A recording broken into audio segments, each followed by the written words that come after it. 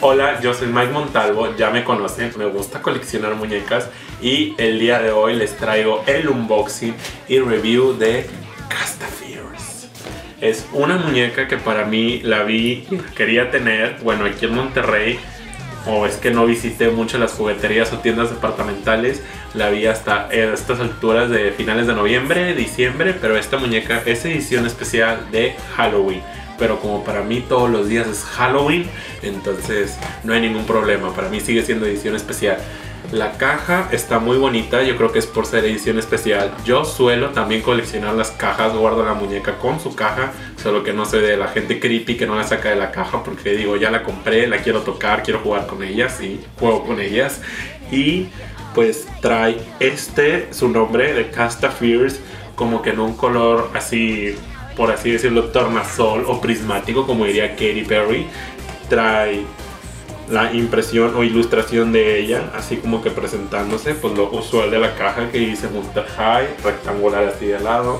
De la parte de atrás viene la presentación de ella, un pedacito de lo que es Casta Fears, la impresión o póster de Casta Fears aquí detrás de la caja.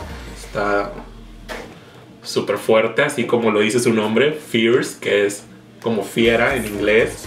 Es como de que fierce, fuerte, glamoroso. Es asociado como que glamour o cosas así en Estados Unidos. Es una expresión que a mí me gusta mucho usar en mi vida diaria.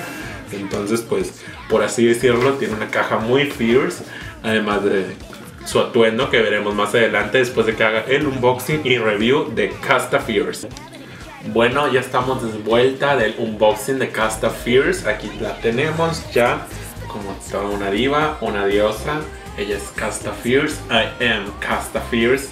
Me quiero imaginar que ella debería decir eso.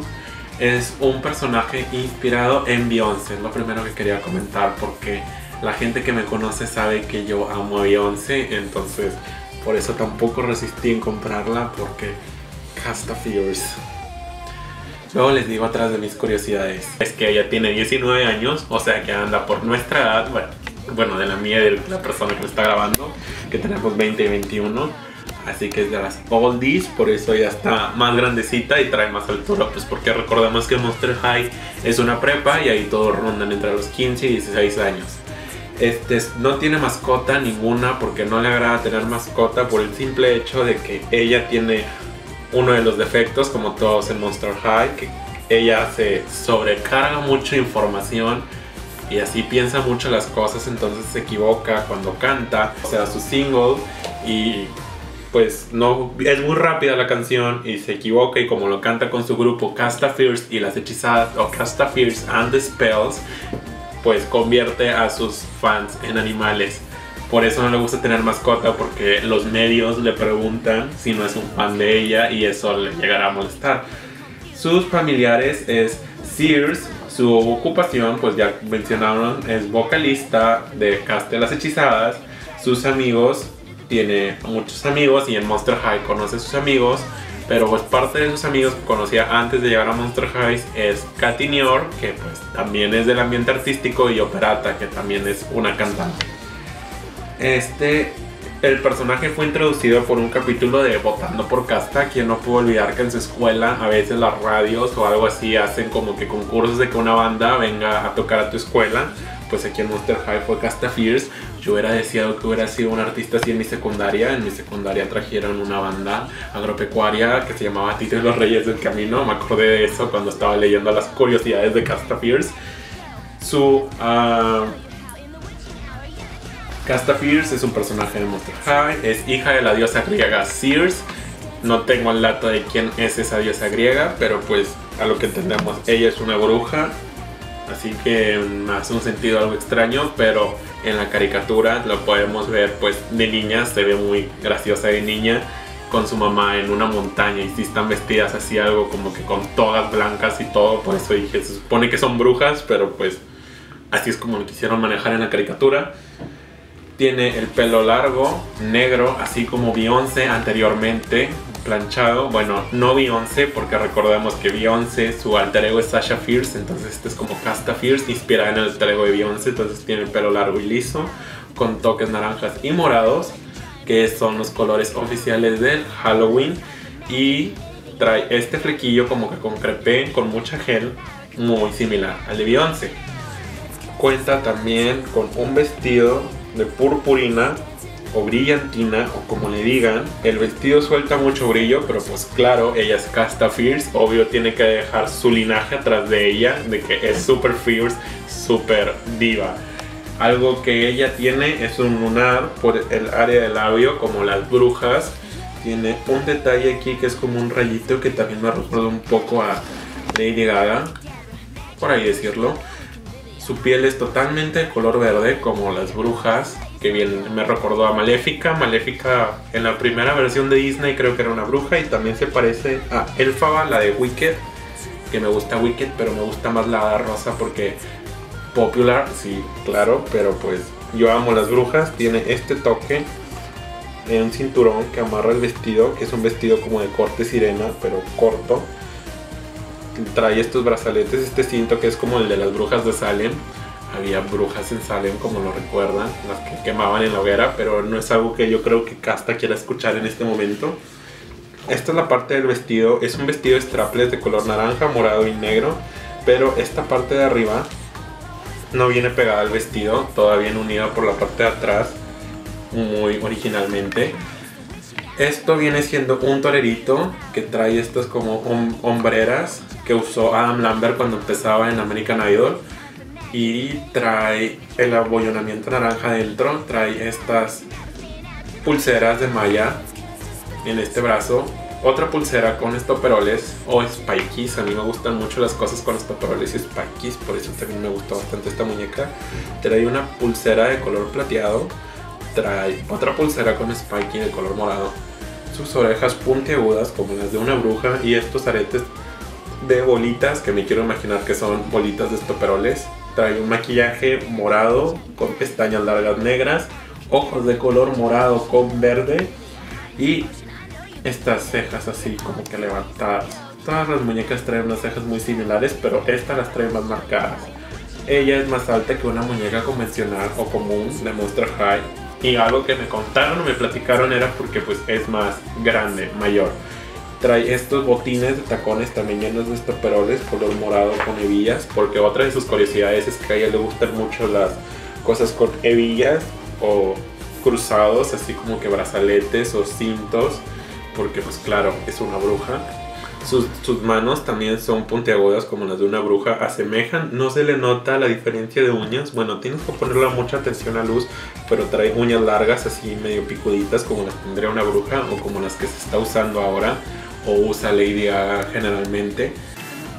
Algo más que trae es que sus colores que la representan es el verde, negro, naranja y morado, que son los colores del Halloween, por eso fue una muñeca de edición especial que sacaron en Halloween, pero fue presentada en el Toy Fair, que es como la feria del juguete en Estados Unidos donde presentan las novedades de los juguetes, creo que en febrero o marzo fue donde fue anunciada ella que iba a ser parte de el personaje de Monster High. Bueno, también hay muchas curiosidades de casta. Otra que les quiero mencionar, como toda celebridad tiene, que hemos oído cuando viene a tu ciudad o algo, que es la comida que te piden, que viene siendo tomates con queso mozzarella en vinagre balsámico, algo muy exótico e italiano que hace alusión a su origen griego por la mamá que es una diosa griega.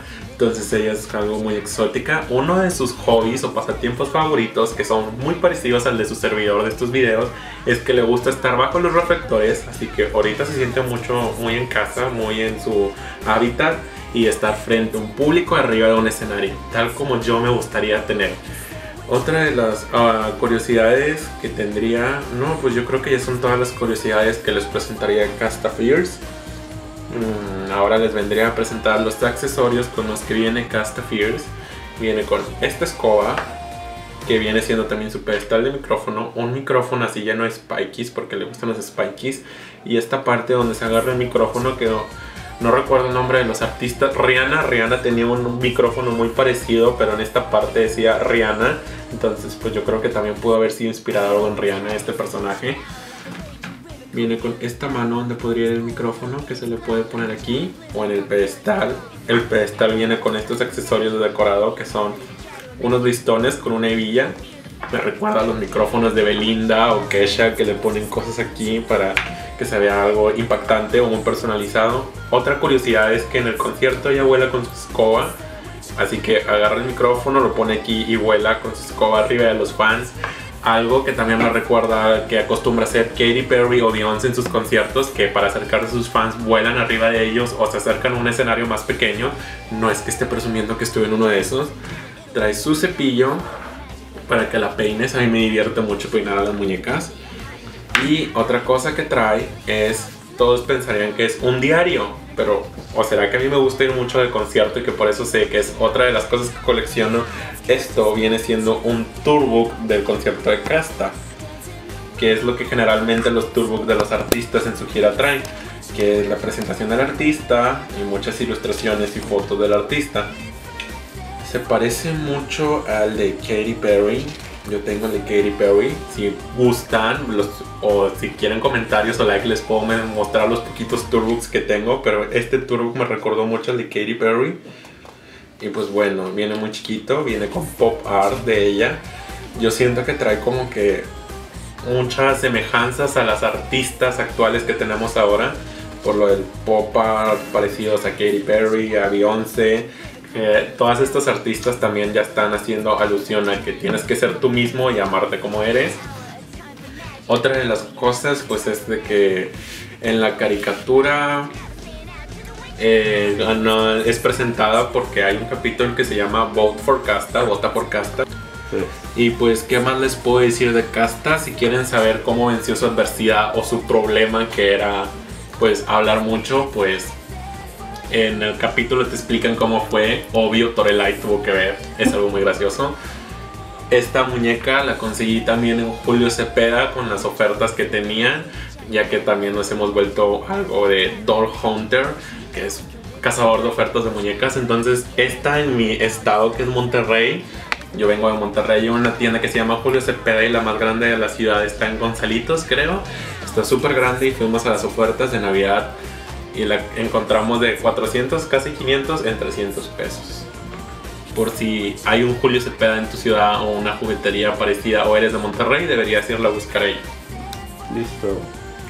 Bueno, ella fue Casta Fierce. Cosas que me gustan de la muñeca es su atuendo, me gusta mucho. No soy muy fan del color verde, pero ella es una bruja, así que a ella se lo perdono. Y en una bruja y si lo acomodas bien o con colores de Halloween siento que ella se ve muy bien. Algo que no me gustaba de ella, bueno, que no me pareció tanto son estos. Los zapatos me gustan mucho, me gustan los zapatos toscos, así fuertes, pero pues siento que hubieran puesto unos tacones más o más grandes o más este, extravagantes. Están extravagantes por los picos, pero le hubieran puesto unos giles o no estoy diciendo que le pongan unas ballet boots como Sasha Fierce, porque entonces eso estaría muy extremo. No podrías parar a la muñeca. Luego en mi descripción les dejo que es un ballet boots. Y otro efecto que le encuentro que tenga, pero no es tanto defecto, es este torerito que hace que todo el movimiento de la muñeca esté muy este, rígido, pero pues cuando uno quiere verse fashion hay que pagar unos sacrificios, que en este caso vendría siendo estas sombreras que también me recuerdan a Lady Gaga, las sombreras que usaba en el Monster Bag primero. Listo. Bueno, yo soy Mike Montalvo. Aquí abajo les dejo los links de mis redes sociales. El siguiente unboxing pueda que sea el Draculoque o el Castillo de las Fusiones. No crean que no lo he comprado. Aquí está al lado de mí, solo que no he tenido tiempo a armarlo. Nos vemos en el próximo video. Yo soy Mike Montalvo. Tengan un espeluznante día. Aquí está el castillo de las fusiones, no he tenido tiempo a armarlo. Para que no digan que no lo he comprado, sí lo compré, estaba en oferta.